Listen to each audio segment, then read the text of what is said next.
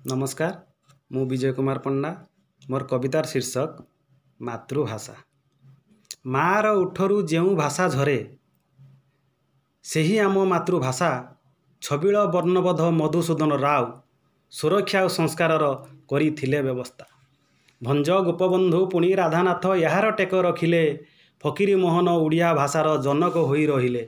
ଶାସ୍ତ୍ରୀୟ ଭାଷାର ମାନ୍ୟତା ପାଇଲା ମାର୍ଚ୍ଚ ଦୁଇ ହଜାର ଚଉଦ କଳା ସଂସ୍କୃତି ବିଦେଶେ ଆଦୃତ ଲଭିଲା ଓଡ଼ିଶାରୁ ଓଡ଼ିଆ ହେଲା ବିସ୍କୃତ ସେହି ଆମ୍ବ ତୋଟା ପଖାଳର କଂସା ବାଗୁଡ଼ି ସହ ପୁଚି ଖେଳ ଅତୀତର ଗାଥା ଆମ ଭାଷା କହେ ସୀତାଚୁରୀ ରେକର୍ଡ଼ର ସୀତାଚୁରୀ ରେକର୍ଡ଼ର।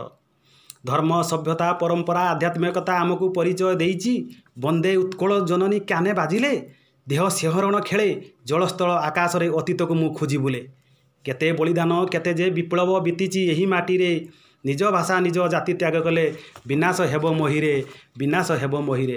ସେବା ସାହାଯ୍ୟ ଏକତା ବ୍ରତ ଅଟଇ ଯାହାର ସ୍ନେହ ପ୍ରୀତି ଆଦରରେ ବନ୍ଧା ପାରିବାରିକ ଜୀବନ ଆମର ଲୋକନୃତ୍ୟ ପାଲା ଦାସକାଠିଆ ଉଡ଼ସି ନୃତ୍ୟ ସହ କାଳିଆ ଭଜନ ପୁରାଣ ଲୋକ ଗଳ୍ପ ଢଗଢମାଳି ଆମ ଭାଷାକୁ କରିଥିଲା ପରିପୁଷ୍ଟ ଆମ ଭାଷାକୁ କରିଥିଲା ପରିପୁଷ୍ଟ। ଚଣ୍ଡାଶୋକରୁ ଧର୍ମାଶୋକ ପୁଣି ଧର୍ମପଦ ସମତା ଭାତୃତ୍ୱର ଦିଗ୍ଦର୍ଶନ ଦେଇଛି ମହାପ୍ରସାଦ ମକର ଚାଉଳ ଆମ୍ବ ବଉଳ ଦେଇ ବନ୍ଧୁବାନ୍ଧବର ପରମ୍ପରା ଗଢ଼ିଛି ବାପା ମା' ଡାକ ଛାଡ଼ି ମମ୍ ଡାଡ୍ ଡାକିଲୁ ଭାଇଙ୍କୁ ବ୍ରୋ କହିଣ ବନ୍ଧୁକୁ ୟାର କହିଲୁ ଶାଗ ପଖାଳ ଛାଡ଼ି ବିରିୟାନୀ ଖାଇଲୁ କାକରା ମଣ୍ଡାକୁ ଭୁଲି ଚାଉମିନ କରିଲୁ।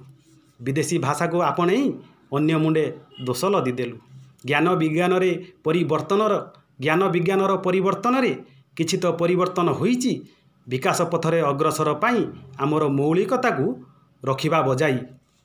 ଯେଉଁ ଭାଷା ବଳେ ଆଜି ହୋଇଛି ମୁଁ ବଡ଼ ସେହି ଅଟେ ମୋର ଜନନୀ ସମାନ ଭକ୍ତିଭରେ ସେବତାଙ୍କୁ ରଜନୀ ଦିବସ ତାଙ୍କରି ବିକାଶରେ ହେବା ଆମେ ସଂକଳ୍ପିତ ହେବା ଆମେ ସଂକଳ୍ପିତ।